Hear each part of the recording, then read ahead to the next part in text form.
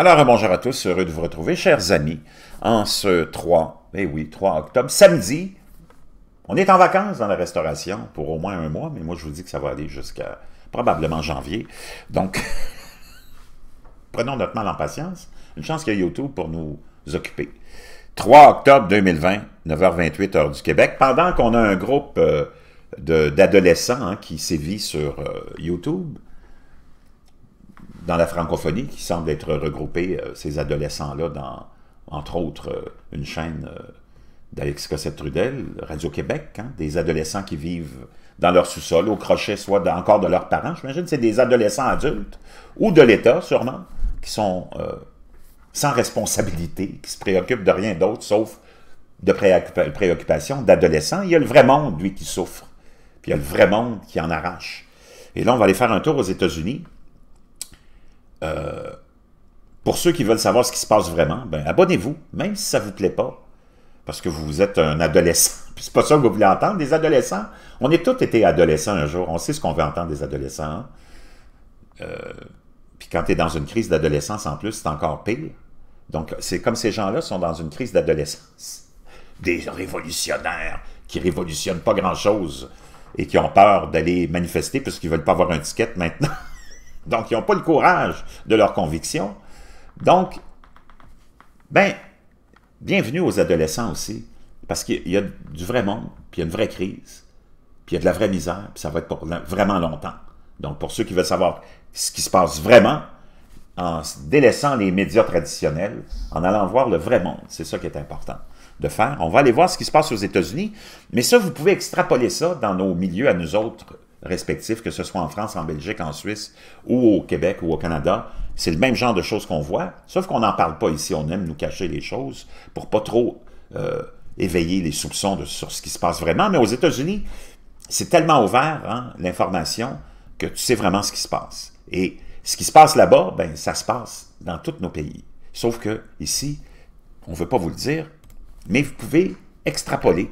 Des millions d'Américains risquent de perdre leur électricité ou l'eau ou leur service d'eau alors que des factures de services publics massives et impayées s'accumulent. Plus de 179 millions de personnes peuvent être exposées à des interruptions car de nombreuses protections étatiques prennent fin. Seuls 21 euh, États et le district de Columbia ont encore en vigueur des interdictions de débranchement d'électricité et de services publics liés à une pandémie. Donc, tous les autres États, ils sont plus protégés par l'interdiction de débrancher le monde. Ce mardi a marqué 67 jours d'obscurité pour Kenneth Parson. Il a pris du retard sur ses factures de services publics au printemps et ses lumières se sont éteintes et sont restées éteintes à partir de la fin juillet. Aucune alimentation ne signifiait pas de réfrigérateur, alors Parson, un diabétique de 72 ans à Griffin, en Géorgie, n'avait pas d'autre choix que de stocker son insuline thermosensible sur de la glace dans une petite glacière.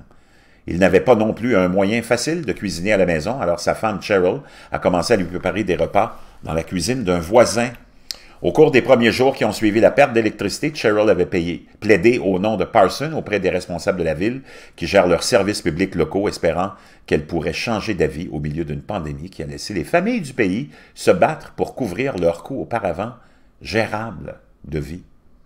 Ils ont dit qu'ils ne pouvaient rien faire pour lui, a déploré Cheryl, 65 ans, qui vit séparée de son mari, mais euh, reste mariée et l'aide à gérer ses problèmes de santé. Cela m'a énervé. La pire crise économique depuis plus d'une génération a plongé potentiellement des millions d'Américains à travers le pays dans un péril similaire et soudain. À court d'argent et dans certains cas toujours au chômage, ils ont pris beaucoup de retard sur leurs factures d'électricité, d'eau et de gaz, regardant la perspective d'éventuelles fermetures de services publics et de dettes croissance et de dettes à croissance rapide, pardon, qu'ils ne pourront peut-être jamais rembourser. C'est ça le problème c'est que tu ne pourras jamais te remettre de tout ce trou-là dans lequel on s'est enlisé tout le monde, personnellement. Donc, les gens qui accumulent les factures et les factures et les factures en pensant pouvoir les payer un jour, ben, tu n'auras pas plus d'argent et ça s'accumule et ça va devenir insurmontable. Au début de la pandémie, En Caroline du Nord, des factures d'électricité et d'eau impayées poussent des familles et les villes au bord du gouffre financier. Au début de la pandémie de coronavirus, de nombreux États ont agi rapidement pour s'assurer que leurs résidents ne perdraient pas leur électricité ou d'autres services publics si leur emploi ou leur salaire était réduit. Aujourd'hui, cependant, seuls 21 euh, États et le district de Columbia ont encore de telles interdictions de déconnexion en place. Selon la National Energy Assistant Directors Association, qui suit les moratoires, cela laisse environ 179 millions d'Américains à risque de perdre leur service alors même que l'économie continue de grésiller. Des millions d'autres dans neuf autres États devraient perdre leur protection à partir de jeudi et tout au long de l'automne, a constaté le groupe.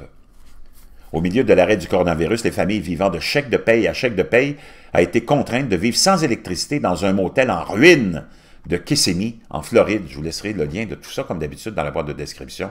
Vous pourrez aller voir, euh, c'est vraiment brisqueur. Mais on peut extrapoler, c'est comme ça en France, c'est comme ça en Belgique, c'est comme ça euh, au Québec, au Canada et partout ailleurs. Les Américains du pays semblent également accumuler d'énormes factures impayées dans le processus. Les dettes d'électricité et de gaz à elles seules menacent d'atteindre ou de dépasser 24,3 milliards de dollars d'ici la fin de l'année, selon une nouvelle analyse du NEADA, publiée jeudi sur la base d'environ deux douzaines de dépôts réglementaires d'État. Dans certains cas, les impayés semblent être graves. Dans l'Indiana, par exemple, plus de 112 000 ménages sont derrière sont en, en, arriérage de 120 jours ou plus sur leur facture d'électricité. Une analyse du Washington Post les dossiers des plus grandes compagnies d'énergie locale trouvés, ça, ils ont trouvé ça dans les dossiers des compagnies euh, d'énergie locale. La dette totalisant des millions de dollars est quatre fois plus élevée que les arriérés accumulés au cours de la même période en 2019. Selon les données, les personnes qui se débattaient auparavant sont encore plus en difficulté, a déclaré Mark Wolf, directeur exécutif du NEADA.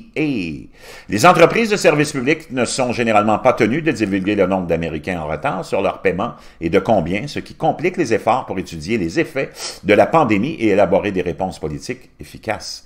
Dans certains cas, les fournisseurs d'électricité, d'eau et de gaz ont activement fait pression contre le type de moratoire de fermeture rigoureux qui, selon les défenseurs, sont essentiels. Mais les données éparpillées et des histoires anecdotiques sinistres semblent indiquer la même conclusion. Les Américains, déjà sur le précipice financier, se rapprochent encore plus du bord du précipice. Une telle crise menace non seulement leur santé et leur bien-être, mais aussi ceux des services publics eux-mêmes, dont certains signalent déjà qu'ils devront peut-être augmenter les tarifs ou prendre d'autres mesures drastiques pour compenser les pertes anticipées. Vous ne pouvez pas vraiment sous-estimer le fardeau de cette dette sur les familles, a déclaré Khalil Saïd, un défenseur principal des politiques au Conseil de défense des ressources naturelles. Cela aura également des ramifications plus larges pour notre économie et notre capacité à nous remettre de cette crise. Le torrent de paiement d'électricité, d'eau et de gaz manqué souligne la grave crise de trésorerie qui continue de frapper les Américains près de sept mois après que le coronavirus mortel a envoyé l'économie américaine en chute libre. À l'échelle nationale, près d'un tiers des adultes disent encore avoir du mal à faire face aux dépenses courantes de leur ménage, selon la dernière enquête du US Census Bureau, hein, euh, le bureau du recensement américain. Donc, voyez-vous, ça, c'est les vraies préoccupations du vrai monde, pendant que les réseaux sociaux, les réseaux nationaux de télé qui essayent de faire euh, tourner euh, toute la vie autour des manifestations de l'extrême gauche, que le pays s'en va dans le socialisme ou le communisme, au patati, ou patata. Ça, c'est le vrai monde, ça, c'est les vraies affaires. Et c'est ça qui va guider les gens dans leur vote le 3 novembre. Ce chiffre est aggravé par le fait que 837 000 nouveaux travailleurs ont demandé une assistance de chômage la semaine dernière, nous a rapporté le gouvernement américain. Au plus fort de la crise, le Congrès a répondu au printemps avec près de 3 billions, 3 trilliards de dollars de dépenses de relance visant à augmenter les prestations hebdomadaires des chômeurs, à envoyer des paiements uniques à tous les Américains et à augmenter les programmes de filets de sécurité existants, y compris des fonds pour aider les Américains à payer leur électricité.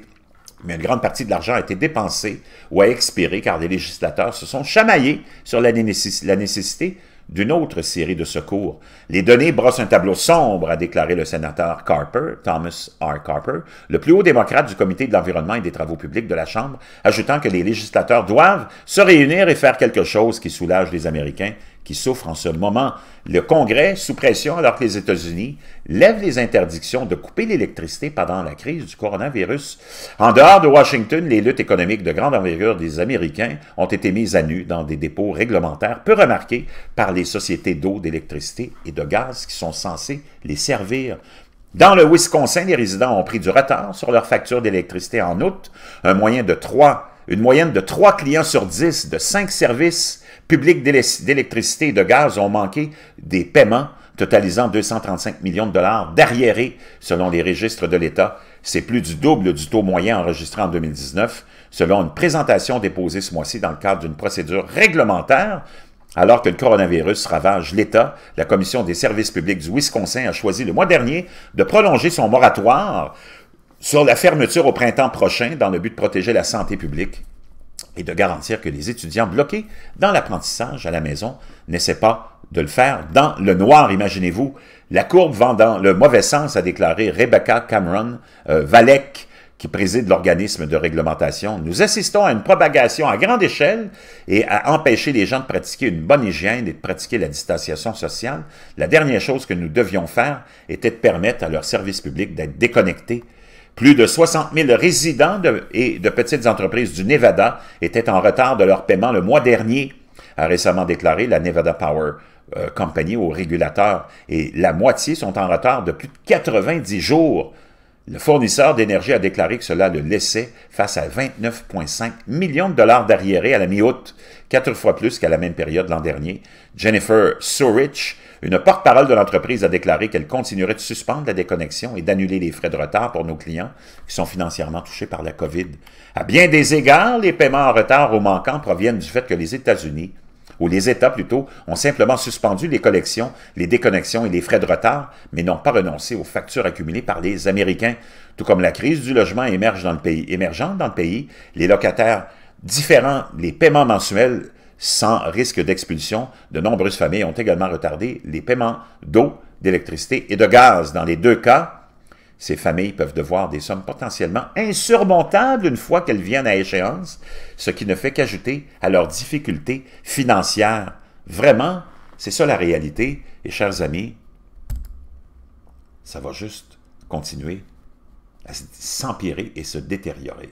Donc c'est important de comprendre qu'on est tous dans le même bateau et qu'il faut redevenir adulte et laisser euh, l'adolescence aux adolescents.